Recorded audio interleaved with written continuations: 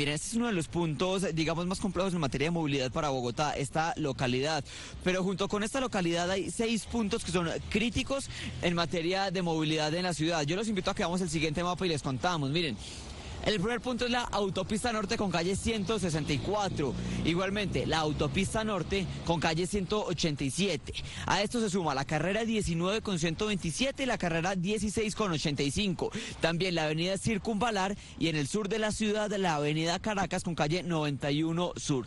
Pues bien, ¿qué es lo que sucede en estos puntos? ¿Por qué es tan crítica la movilidad? Pues arriba Bogotá le pone la lupa a la identificación de estos puntos que además han intervenido por las autoridades. Darío, gracias por acompañarnos a esta hora de la mañana en Arriba Bogotá. Y bueno, hablemos un poco sobre estos, sobre estos puntos. ¿Qué es lo que sucede en estos lugares?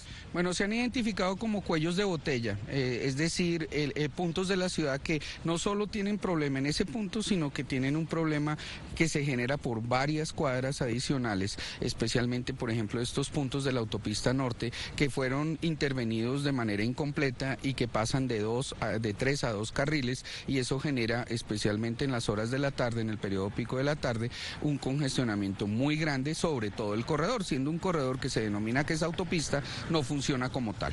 Bien, eh, Darío, hablemos un poco de lo que se debe hacer. El distrito aseguró o eh, prometió ya estrategias para mejorar esto, como estrategias de, de, regulación del tráfico y todo, pero ¿qué se debe hacer en, estas, en estos lugares?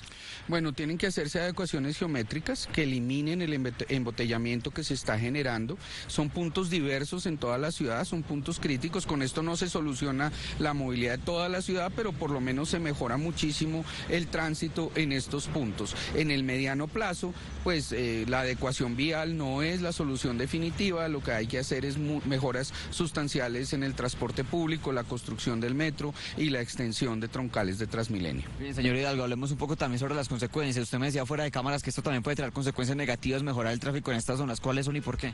Bueno, en el corto plazo pues solo va a mejorar un poquito el flujo vehicular, va a eh, reducirse el tiempo de desplazamiento, especialmente para el transporte público que se ve muy afectado por estos cuellos de botella. Eh, pero cada vez que construimos una vía, cada vez que ampliamos la malla vial eh, orientada principalmente